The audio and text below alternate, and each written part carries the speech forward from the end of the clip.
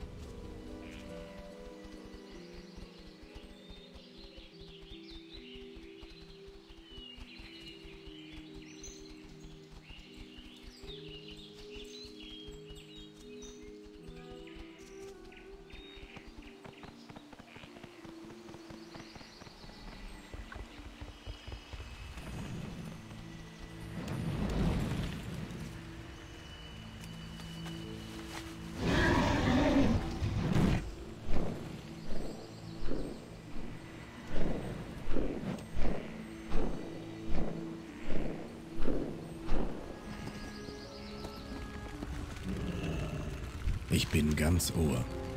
Ich muss mich entschuldigen, aber ich habe jetzt keine Zeit, um zu plaudern. Meine Tochter Relara ist todkrank. Das ist von Orendiel? Deine Fertigkeiten in Kräuter und Heilkunde sind enorm. Dieses Heilmittel gibt mir Hoffnung. Dabei hatte ich schon fast aufgegeben. Lebt wohl.